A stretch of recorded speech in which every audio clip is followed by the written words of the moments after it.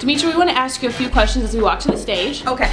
If you could swap cities with another housewife from any show, what city would you pick? Orange County, just because of the weather. Which Real Housewife fashion style do you like the most? Mine. Fresh face or polished look? Fresh faced.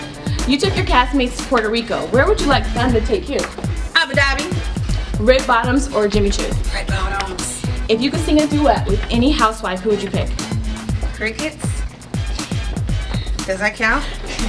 Diamonds or pearls? Diamonds. NeNe's hair, do you like it blonde or dark? I don't. Brunch or happy hour?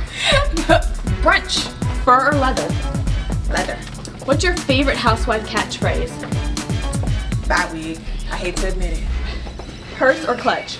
Purse. Real hair or real extensions? Real. If you could be anyone for a day, who would you pick?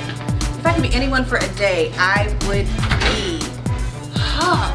If I could be anyone for a day, I'd be Oprah. Just to see what that feels like. If your life were a song, what would the title be?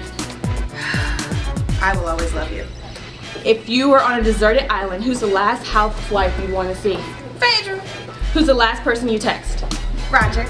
Heels or flats? Heels. What's the biggest misconception about the housewives of Atlanta? That because you watch a show for a little period of time, you know these ladies. Some of them really crazy.